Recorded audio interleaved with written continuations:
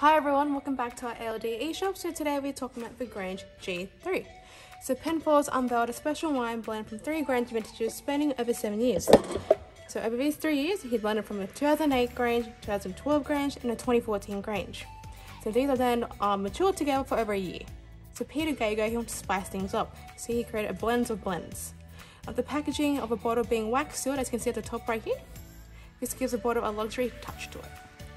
This is a product made for wine connoisseurs and is a wine to be collected, invested, and inherited.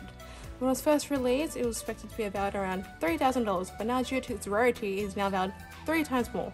With only 1,200 bottles made, this is a very special and rare release, and we are lucky enough to secure five bottles on us.